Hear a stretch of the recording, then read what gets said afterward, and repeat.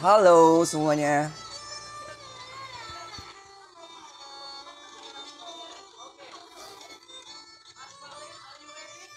Yo. Kedengaran nggak sih? Oke. Suaranya agak delay ya. Kedengaran teman-teman? Minta feedbacknya dong.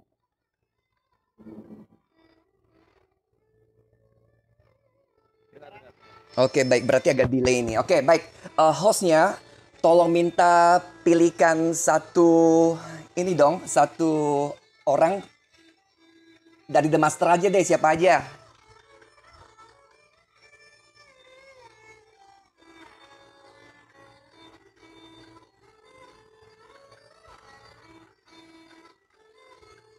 Halo?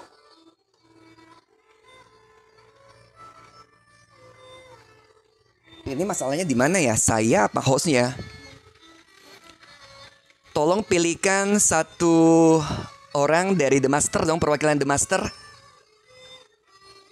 Korobet deh, korobet boleh. Yang ready aja.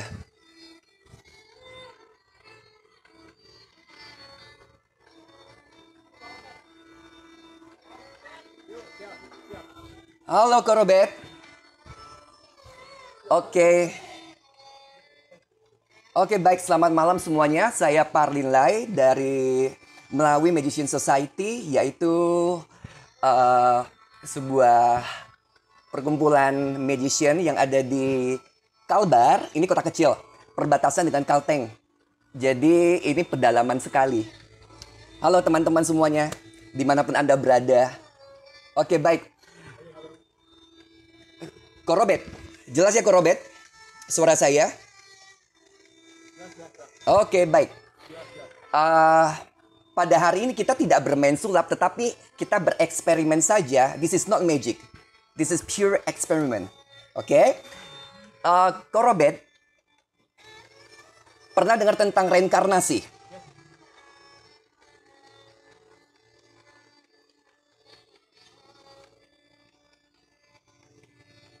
Halo? Waduh, terputus-putus ini masalahnya di mana?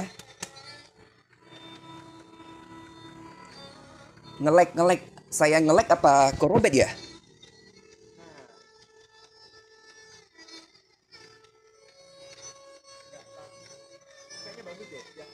Oh bagus ya, oke. Korobet, pernah dengar tentang reinkarnasi?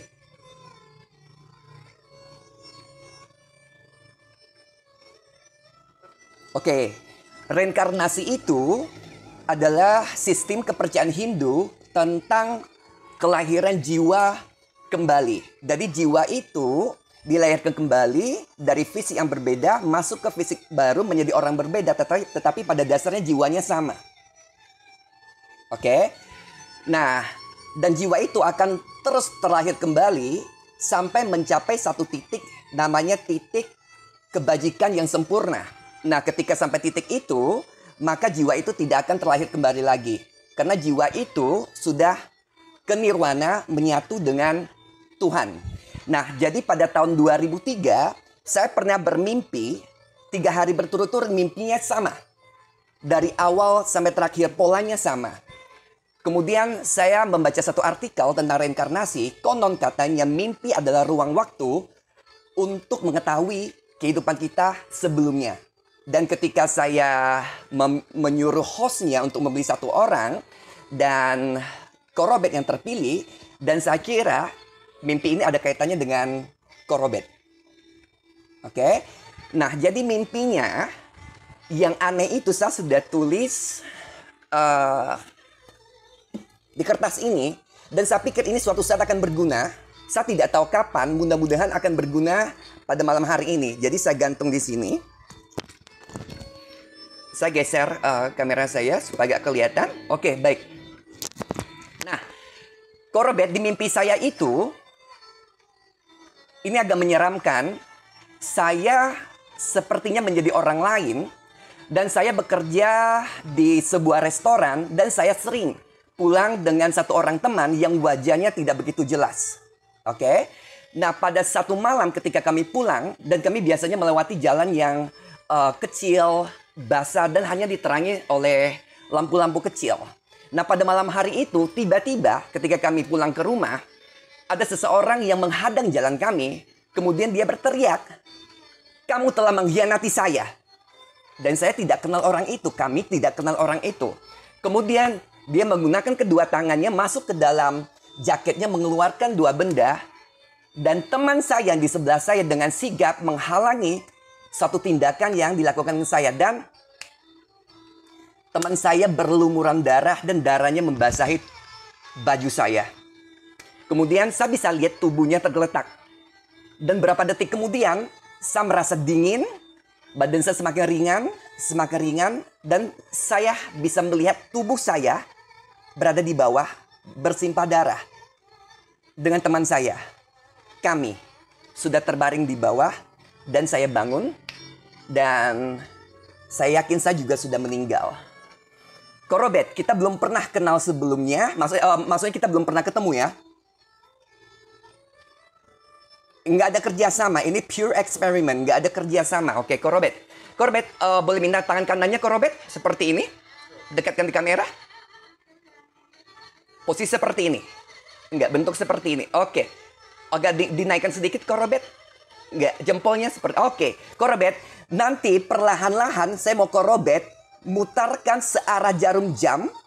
Perlahan-lahan ya, searah jarum jam. Jangan pikirkan apa, putar aja, perlahan-lahan. Putar searah jarum jam. Oke, korobet boleh berhenti di titik mana pun.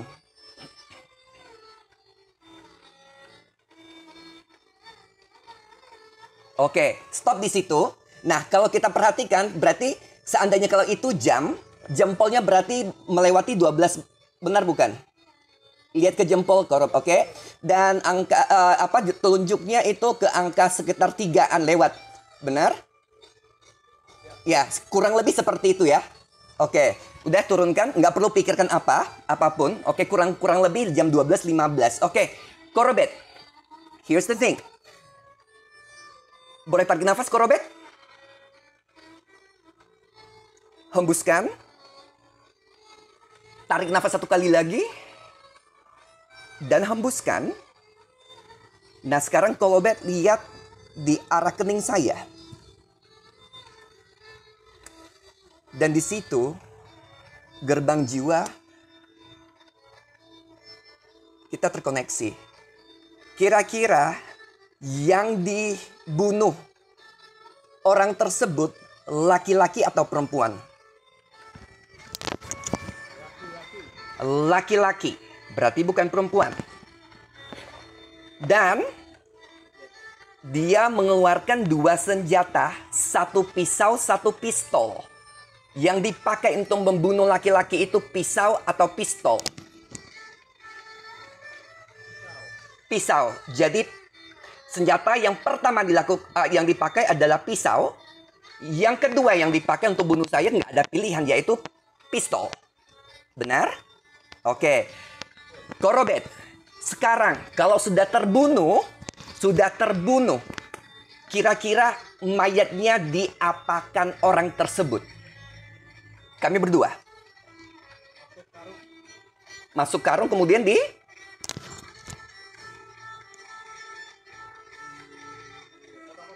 dipotong-potong, dimutilasi ya.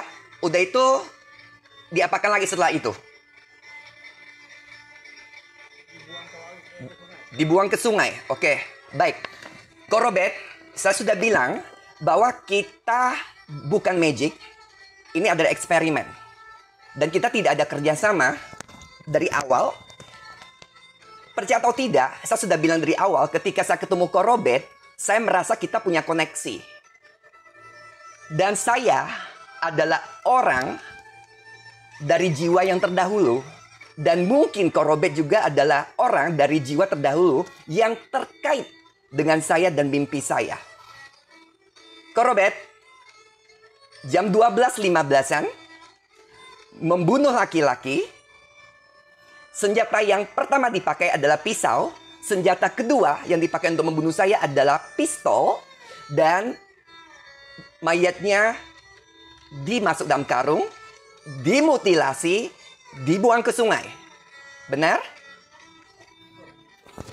Di sini kertasnya korobet.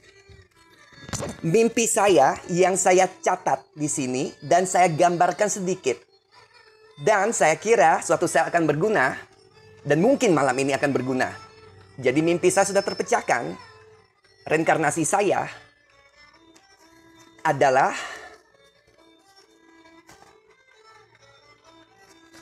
berkaitan dengan korobet.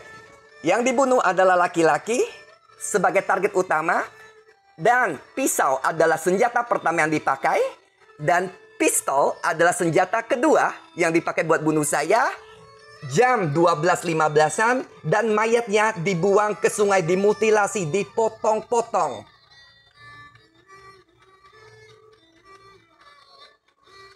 Dimutilasi dipotong-potong dan dibuang di sungai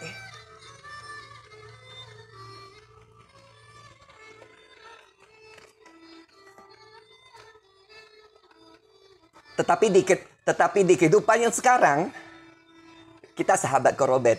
Jadi lupakan masa lalu dan ini adalah reinkarnasi dari saya Parlinai.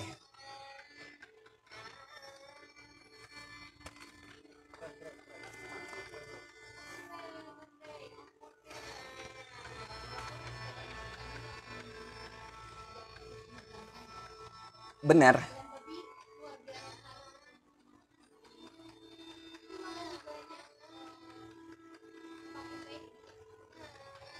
Boleh, boleh.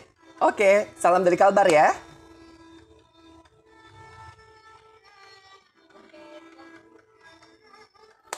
Perbatasan Oke, oke, perbatasan Kalbar Kalteng. Ujung sekali.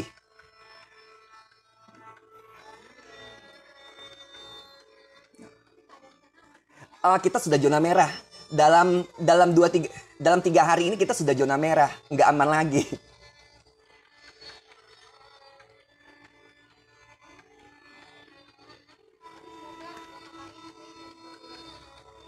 Amin. Makasih.